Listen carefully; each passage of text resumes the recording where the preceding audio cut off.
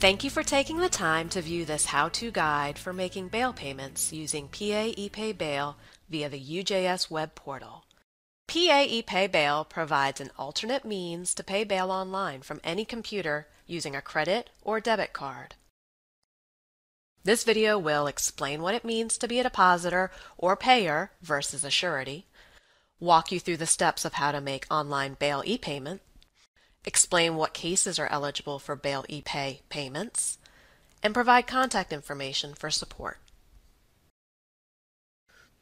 Before we get started, here are some important things you need to know to make a PA e-pay bail payment. In Philadelphia County, only municipal court cases are eligible for bail e-payments. A bail e-payment can be made at any computer with internet access. Making a bail e-payment will typically not work using a smartphone. PA ePay Bail provides the ability to make a bail payment online with a credit card or debit card. ePay Bail accepts payments using Visa, MasterCard, Discover, American Express, or a debit card. There is a credit card transaction fee of $2.75 and a 10 to $20 Philadelphia County processing fee. With one exception, bail can only be paid on a single case per transaction. The exception being a blanket bond, which is a bail that covers multiple cases. When you make a bail e-payment, you are acting as the bail payer or depositor. Being the payer means that you give up your rights to claim the return of your money under the Pennsylvania Rules of Criminal Procedure. That said, you are not held responsible for the defendant appearing in court, for the defendant following their non-monetary bail conditions, or for paying any additional bail money ordered by the court.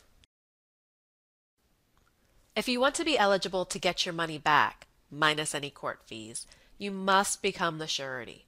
As the surety, however, you are responsible for the defendant appearing for scheduled court dates, for ensuring the defendant follows their non-monetary bail conditions, and you are liable to pay any additional bail money ordered by the judge.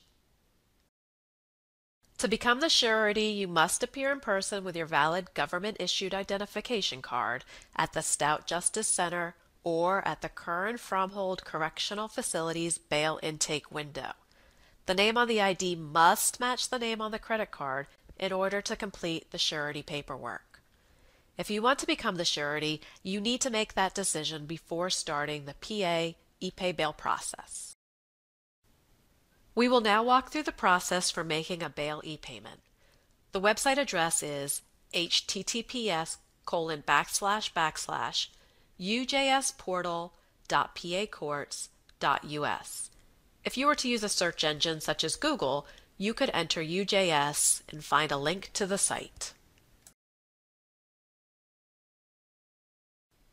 Once on the home page, select e-commerce in the menu bar then PA ePay Bail in the drop-down.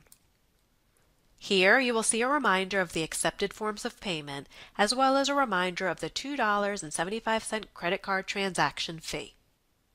You can search for the case by either docket number or by name. First, we will search by docket number. In the Court Type drop-down, you will select Philadelphia Municipal Court.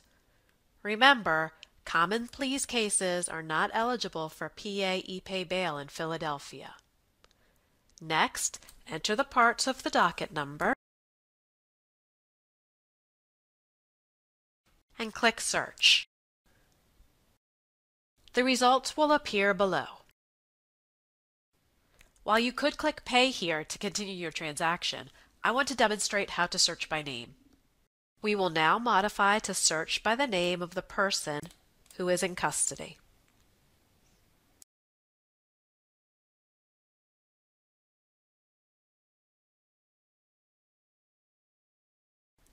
In the Court Type drop-down, again select Philadelphia Municipal Court. Enter the defendant's full last name. The system will not return accurate results for partial last names. Then, enter the defendant's first name.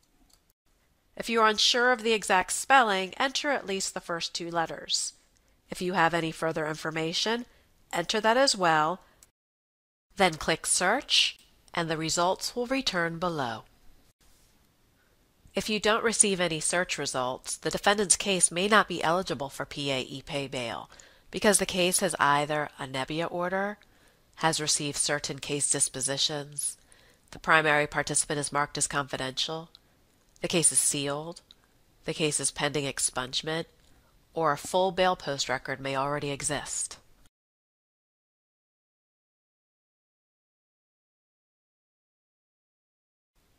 If you care to see a summary of the case to assure it is the correct one, hover over the icon with a magnifying glass, then select Docket Sheet.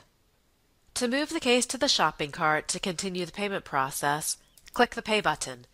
If you receive a message at this time stating, the case cannot have bail paid online, that means the bail has a non-monetary condition of either a psychological evaluation requested, surrender passport, surrender or confiscate driver's license, surrender weapons, surrender gun license, or a Nebbia order. You should contact the Bail Acceptance Unit for further information. When clicking Pay next to a PA ePay eligible case, you will be forwarded to the shopping cart screen to continue the process. The shopping cart shows the total amount of the bail that was set. Sometimes the judge will order that only a percentage of the bail is due for the release of the defendant. If that is the case, you will see the percentage and then the amount due under cash bail amount.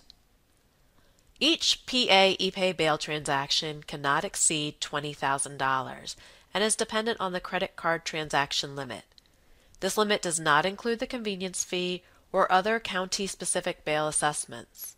The payer can make separate transactions as their credit card limit permits. It is possible to make a part of the bail payment but know that the defendant will not be released until the full cash bail amount is paid. If you only make a partial posting, a message explains that the amount is less than what is due and that you will be checking out with an underpayment. Remember, if you choose to be the surety, you will be made responsible for the full bail amount if bail is ordered to be forfeited. Below the amount to pay field is the additional county fee, that will be assessed based on if the case has a warrant in certain statuses. The subtotal will show you the sum of the bail payment and the county fee. It will not include the $2.75 transaction fee.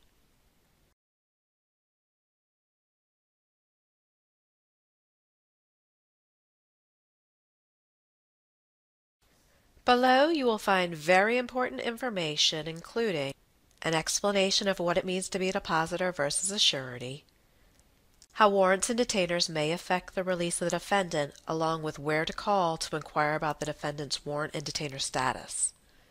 The contact information for the bail acceptance unit where you must call once you complete the e-pay bail process.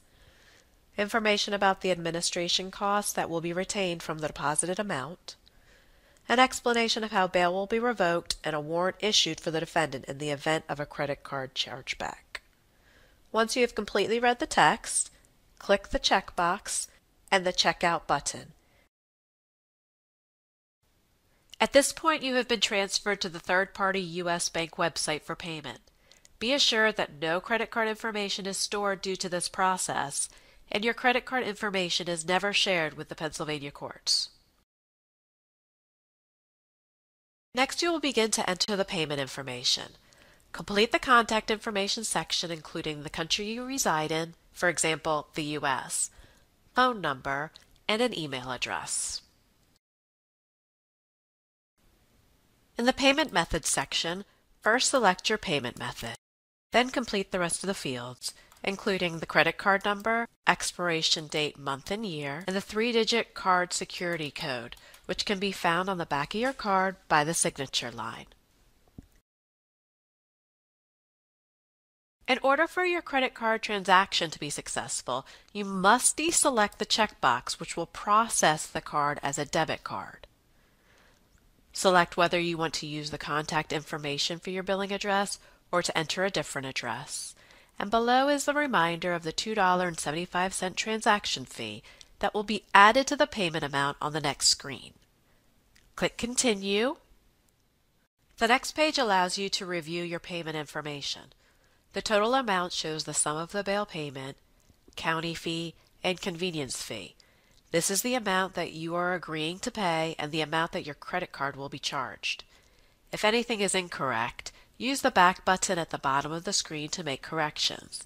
Otherwise, click Confirm to complete the transaction. The confirmation page will give you a confirmation number, which lets you know the transaction was successfully completed. While you do have the ability to print this page by selecting the Print This Page link, I suggest you wait until the next page. Click Continue. By selecting to print a receipt from this screen, you will also receive all of the conditions that you agree to before starting the transaction, including the phone number for the bail acceptance unit, which you must now contact that you have completed the transaction.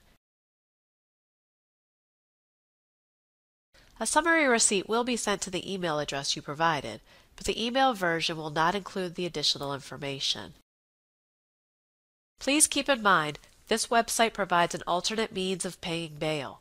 Unpaid bail balances will not be updated until payments are processed by the court. The AOPC makes no guarantees regarding the timelines of an online payment and its effect on the release of the person from custody. Even if bail is paid in full, a defendant will not be released if they have an outstanding warrant and or detainers from any other jurisdiction. Also, if the defendant is currently on probation or parole, it is possible that a detainer will be placed which will prevent the release of the defendant. Call the Curran Fromhold Correctional Facility Records Room to inquire about holds or detainers that may prevent the defendant from being released upon bail payment. If you need assistance to complete this process, you can call the CPCMS Help Desk, which is available Monday through Friday from 7.30 a.m. to 5 o'clock p.m. PA ePay provides an alternate means to make bail payments for certain municipal court cases in Philadelphia.